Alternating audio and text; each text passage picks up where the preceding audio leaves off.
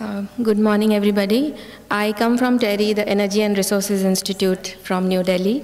Um, so, as Diane has already told, that uh, I'm be, I'll be discussing about uh, two cities, the work in two cities that we have done under the Asian Cities Climate Change Resilience Network.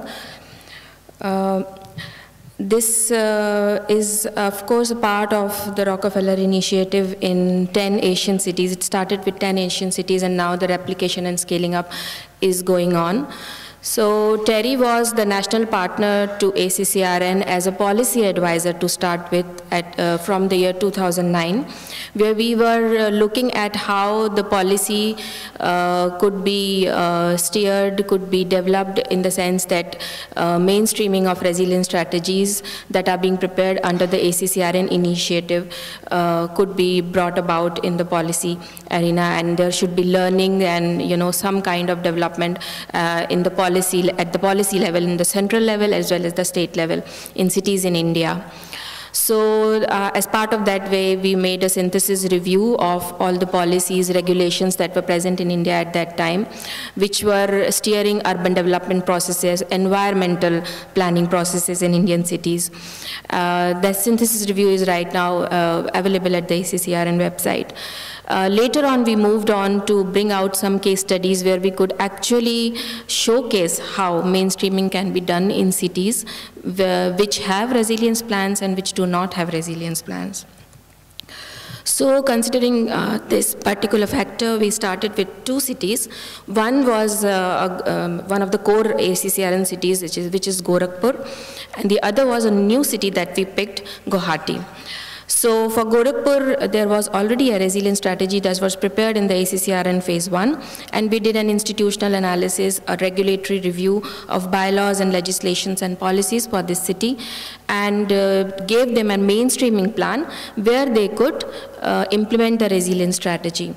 Uh, the notion being that the city, when we interacted with the city government, uh, the question that was arising every now and then was, yes, we know that there is a resilience strategy, but we don't know, in the absence of a national policy or a state level policy, to bring in resilience planning in city, climate resilience planning in cities.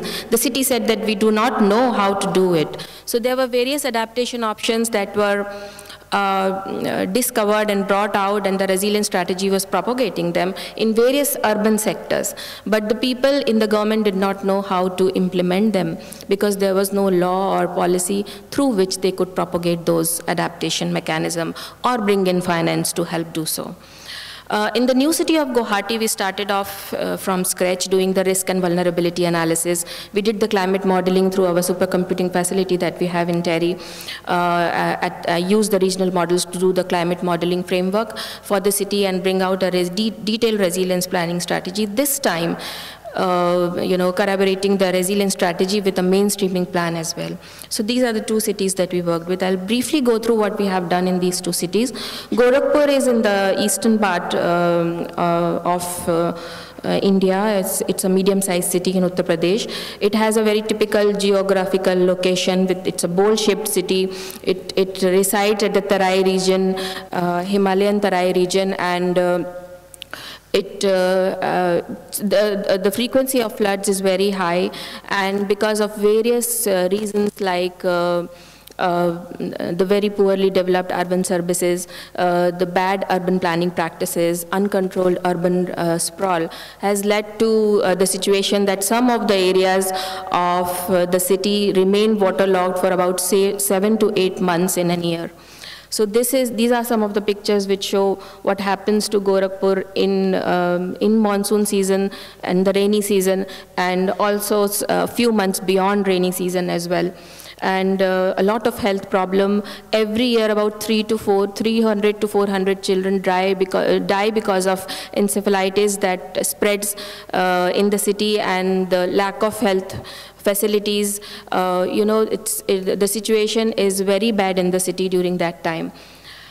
Uh, so uh, in ACCRN phase one, basically some other uh, NGO, uh, which is a local partner uh, with the ACCRN, the Gorakhpur Environment Action Group, they did the climate scenario building and detailed risk and vulnerability assessment, and they prepared the resilience strategy for the city. The resilience strategy uh, was basically an evolu evolutionary resilience strategy which focused on capacity building of the city as well as the community. It targeted physical and institutional uh, uh, actions to improve the drainage system, the housing, health and communication systems, all those sectors that were not only vulnerable but also inefficient in, in their services and urban management aspect.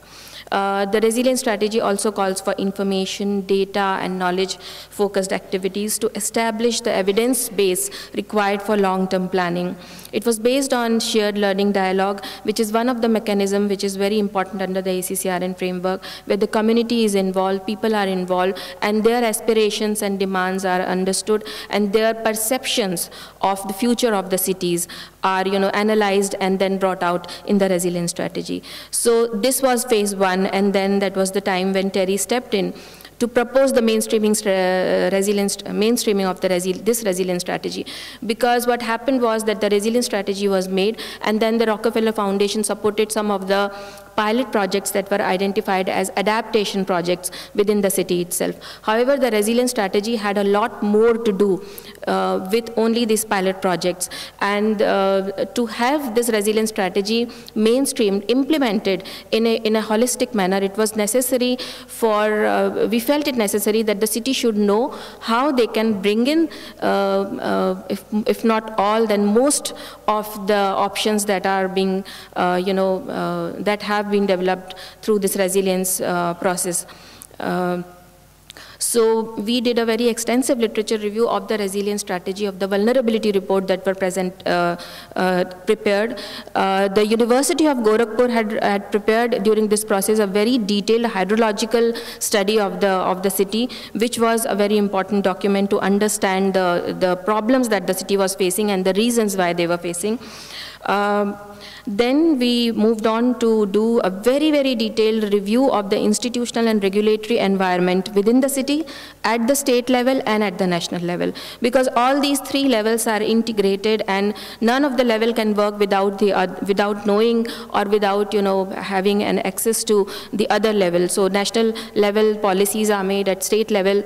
Uh, the acts are uh, there, state level acts are there, the town planning acts are there, which are you know, uh, driving development in cities and at city level they have various bylaws, development regulations, master plans, city development plans through which they are you know taking up planning actions.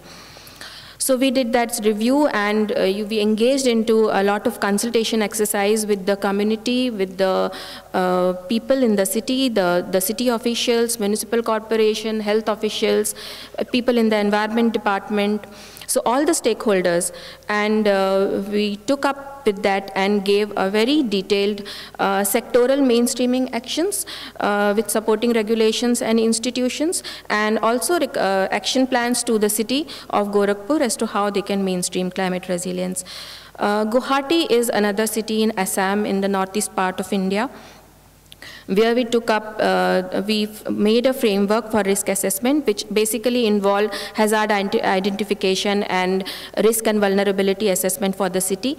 This was then, you know, uh, kind of uh, additionally, we did the climate projection analysis for the city as to how the climate will be changing, uh, to understand how this risk will change then with the changing climate, and made a resilience strategy for the city. Uh, giving them also the mainstreaming plan. So these are some of the photographs uh, that you can see during the monsoon season uh, last year in, in Guwahati, which is again. Guwahati uh, again is a developing uh, city. The, if you look at uh, the population, it has just doubled in, in the last 10 years. Uh, we also did a lot of uh, GIS-based modeling on the city, the urban sprawl, the bareness index, the vegetation index, which has changed considerably in the last 10 years.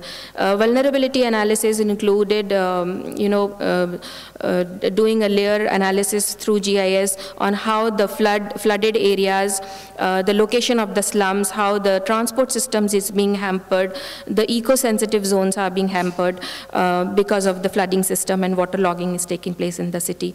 Again, city consultation, shared learning dialogues, involvement of the community, uh, people, citizens was one of the main elements of this study. And a resilience strategy which uh, gave, uh, gave inputs on housing, ecologically based urban planning, the urban services and infrastructure, disaster resilience, through structural measures, regulatory support, institutional supports, and community participation. A mainstreaming action plan was given to the city as well with existing policies and regulations. This is my last slide. So if I come to the observations and way, way forward of all this process that we did, uh, ACCRN, I would say that is it, it is an external agent that, you know, kind of uh, drive, drove this kind of change in these two cities. However, if we are thinking about mainstreaming urban resilience planning in other cities in India, their application and the scalability of these kind of options, it is very essential that the government or the city itself has that kind of capacity to come up with their own plans and can do these exercise and how can they do, what are the challenges in doing that and how can they do that.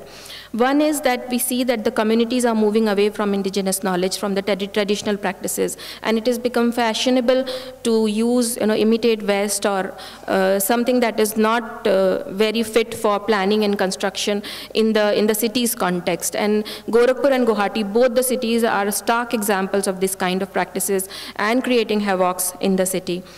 There are regulations in India which include community participation, which talk about, in fact, there is a whole Constitution Amendment Act, 74th Constitution Amendment Act, that decentralizes powers and functions to the urban local bodies. However, it has not been implemented in its true spirit. There is a community participation law which the cities have to, you know, implement, the state have to implement. However, it is not again taken up into its true spirit and people are not, and the aspirations and the demands of people are not coming into the planning uh, processes. Of course, lack of political will is one of the main reasons. Then the third problem that we recognized was urban uh, adaptation or resilience planning. In the lack of a, uh, a, policy, a national policy or the state level policy, uh, there is no recognition at the level of the cities. Because we are talking about medium cities, the smaller towns are even worse. So then lack of state and national level policies. So urban development planning is a state subject in India. So even if there are policies at the national level, until and unless it has, they are recognized at a state level and the corresponding state regulations and uh, are, are processed or acts are processed, it is difficult for the cities to even start implementing any of these.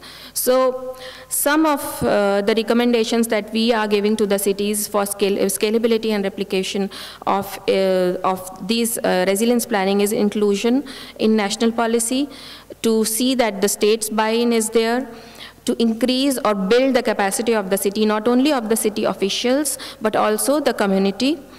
Awareness and drive is very, very essential because so that the community can demand for themselves uh, and engagement of the community. So, you know, developing various forums through which community can come forward and tell the government. So that kind of interaction between the government and community has to, has to be established so that uh, the overall uh, facility that is provided is not only community driven, but it is also uh, taking into account the environmental factors and other, you know, research inputs from the local people itself. Thank you very much. Thank you, Divya.